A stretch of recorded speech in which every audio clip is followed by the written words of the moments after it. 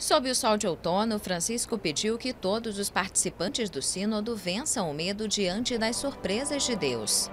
Na presença do Papa Emérito Bento XVI e diante da Praça São Pedro lotada, Jorge Bergoglio pediu a beatificação de Paulo VI e anunciou que o seu dia será 26 de setembro. Que mentre se profilava uma sociedade secularizada o bem-aventurado Paulo VI, quando uma sociedade secular e hostil se aproximava, soube conduzir com sabedoria, muitas vezes de maneira solitária, a barca de Pedro, sem perder a alegria e a confiança no Senhor. Sem perder mais a gioia e fiducia.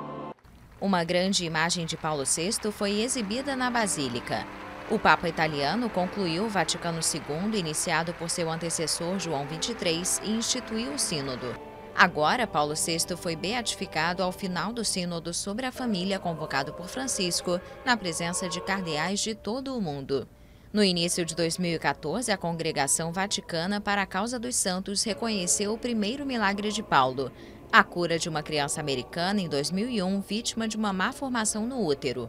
A beatificação pode abrir o caminho para uma canonização se outro milagre for reconhecido. Em abril, Francisco canonizou João 23 e João Paulo II.